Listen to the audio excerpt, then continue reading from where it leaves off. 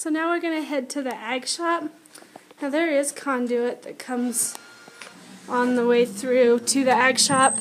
And we may not even use that. Or we may just use the switch that's already in the ag shop. But just to give you an idea of what we're looking at, how far apart the buildings are.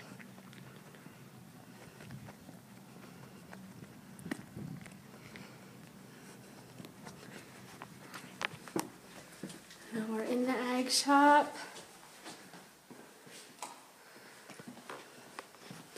So this is our metal shop, which,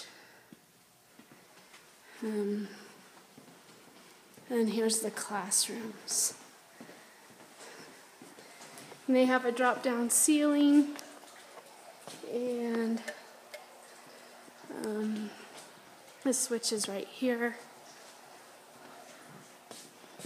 And those wires run through the ceiling to a uh, switch here in the boiler room.